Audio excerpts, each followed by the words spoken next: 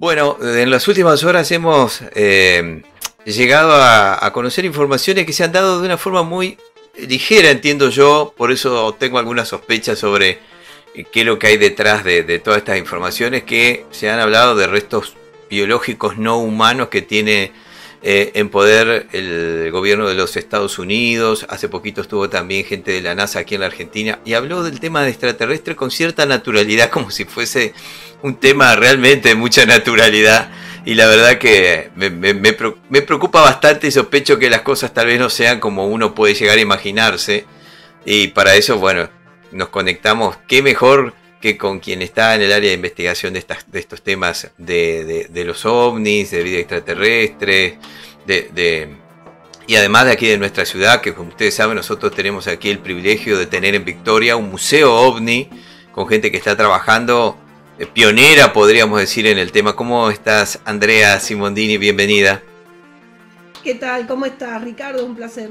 Bueno, ¿qué, me decís de, esto que se... Yo digo, me imaginaba alguna vez hace 10 años que si existiesen los extraterrestres o, existiese realmente la, comprobación de los ovnis, porque decíamos recién hace un par de años que se han desclasificado y se han reconocido que son elementos o, vehículos que se mueven por el, cielo de los Estados Unidos, yo me imaginé que eso iba a ser tapa absoluta de todos los periódicos que se iban a presentar en conferencia de prensa y se ha presentado como una noticia más y eso me llama mucho la atención. ¿Qué, qué tenés para comentarnos, Andrea, al respecto?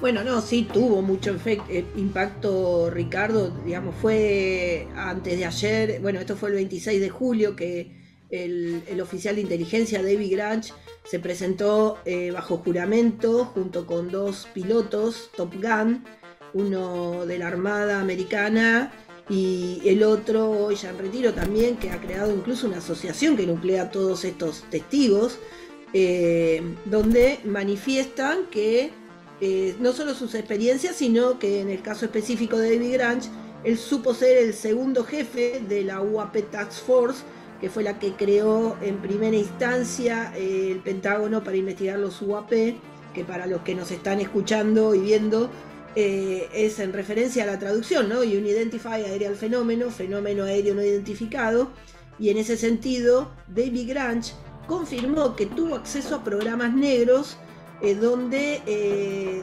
recuperaron no solo fragmentos, sino ovnis enteros y que eh, eran de origen humano, con material biológico y además que muchos estaban en manos de contratistas privados y ya estaban haciendo ingeniería inversa de esos materiales.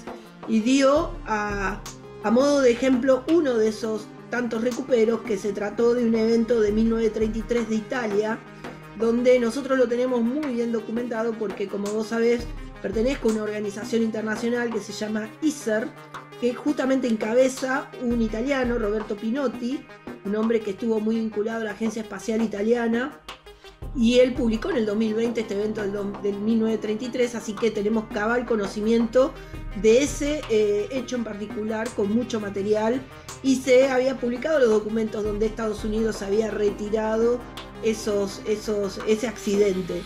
Y en, eso, en esa cantidad de eventos aparecen algunos trascendentes quizá, por supuesto el de Roswell, que es el que estamos todos esperando, eh, y alguno de Sudamérica, y quizá pudiera haber hasta uno de Argentina del año 1962 de Bahía Blanca, que nosotros venimos buscando la documentación conocido como el caso del kilómetro 7, de la pista del kilómetro 7, por lo cual esto es la consecuencia de todo un proceso que se inició en, diciembre del 2017 y que hoy impacta ya con esta confirmación.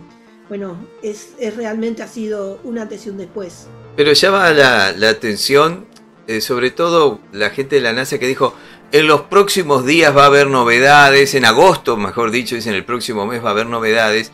¿Qué es lo que están esperando? ¿Qué es lo que suponen ustedes como investigadores?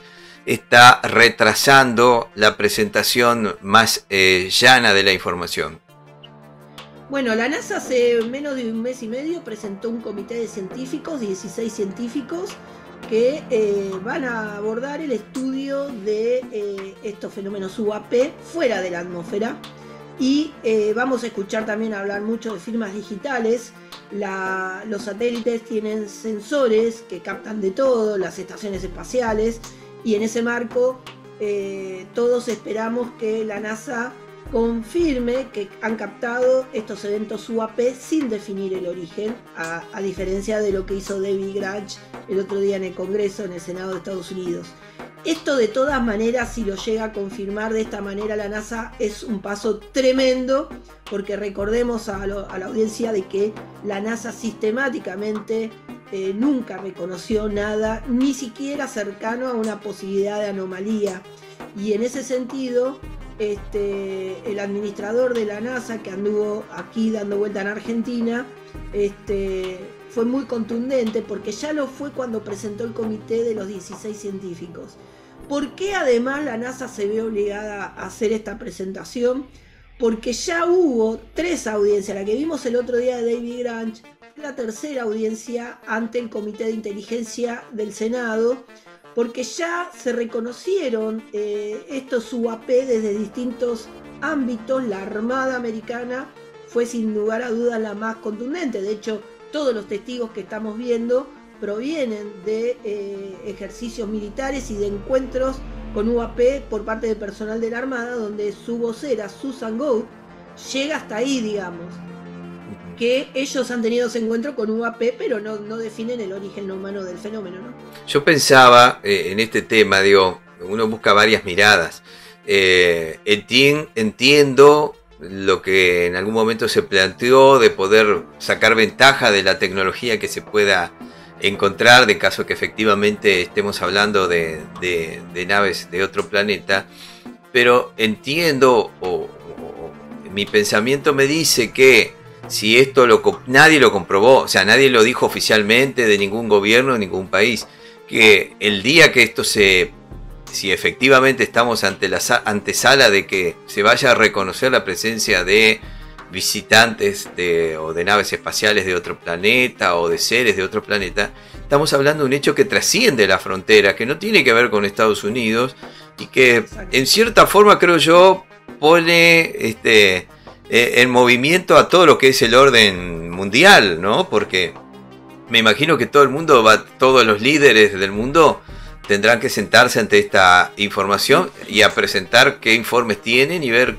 cómo se reacciona el mundo ante esto, ¿no? Porque siempre hemos hablado, nos ha entusiasmado el tema, nos ha gustado, nos ha generado curiosidad, eh, se han creado organizaciones, en algunas con más seriedad que otras, en los últimos años, como decíamos, ha habido organizaciones oficiales que trabajan, pero nunca se llegó, digamos, a la contundencia de eh, presentar blanqueado una información de esto que estimamos nosotros se puede llegar a presentar en estos días. ¿Qué, visión tenés vos sobre esto? Bueno, exactamente. Eh, una de las cuestiones por la cual nos involucramos en el proyecto de ISER es que es eh, empezar a responder ese tipo de preguntas, digamos. Claramente estamos ante un avance, a diferencia de otras épocas, todos estos testigos, y de hecho lo de David Granch ya lo podemos consolidar como una declaración oficial, porque está bajo juramento, él fue el subjefe de un programa que investiga estos eventos, y él está dando no solo por él mismo, sino que él lo que hizo fue una declaración de audiencia pública, pero ya 40 testigos hicieron declaración de esto mismo en audiencias cerradas y, este, y esto podemos tomarlo ya como una declaración oficial.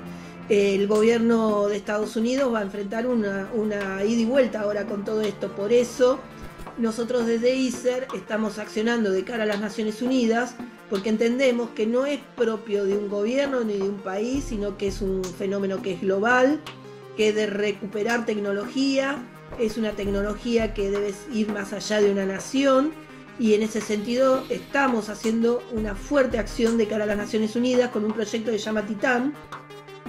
El proyecto eh, involucra que las Naciones Unidas empiece a reconocer en agenda estos, estos estudios y estamos este, buscando ahora en octubre que apruebe eh, en principio acompañar una conferencia en San Marino donde vamos a tener expositores del orden mundial entre ellos estamos proponiendo un argentino, que es el doctor Néstor Berlanda, que ya lo hemos presentado aquí en el Congreso de victoria.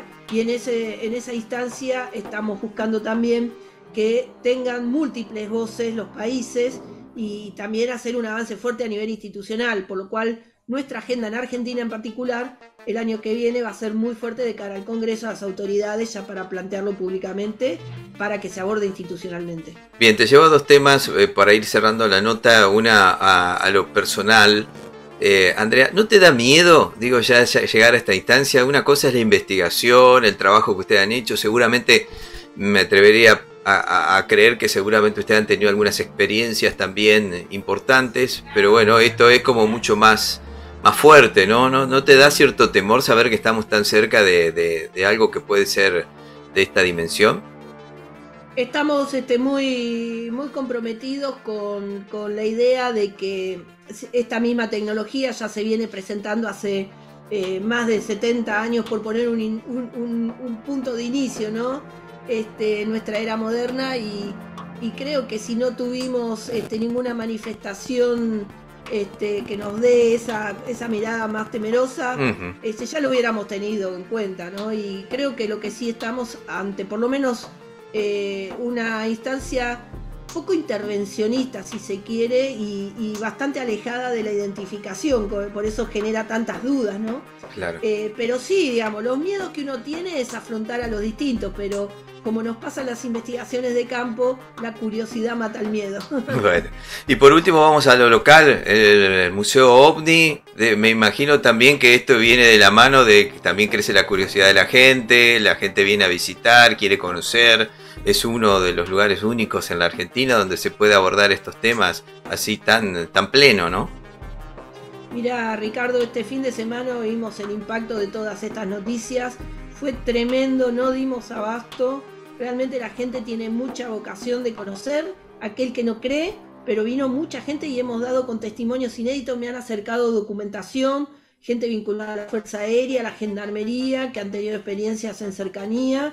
Realmente fue un boom y por eso te digo, esto hizo un clic en la sociedad en general y en nuestra sociedad argentina en particular, que era bastante alejada, ¿no? A incorporarse a, ahondar en estos temas. Un bonus track, porque ayer vi que en algunas redes y algunos medios también habían dado eh, la noticia de que se habían visto algunas luces en Rosario. Eh, no sé si tenés ese, ese dato, Andrea. Sí, sí, sí, nos están mandando videos. Pero bueno, quiero adelantarles que creo que se trata del paso de los Starlink, que tuvo una cantidad de avistamientos masivos, porque hubo hace poquito un lanzamiento, así que probablemente. Es, interesante dejar este, esta mención. Todo lo que vean con vuelo del sudeste al sudoeste, en, en, línea y recurrente, son los Starlink, que son estos satélites que lanza Elon Musk, que nos proveen de tecnología 5G. Andrea, muchas gracias por tu tiempo. Un, un abrazo como siempre, nuestro medio a su disposición. Muchas gracias, Ricardo. Un saludo para todos. Hasta luego.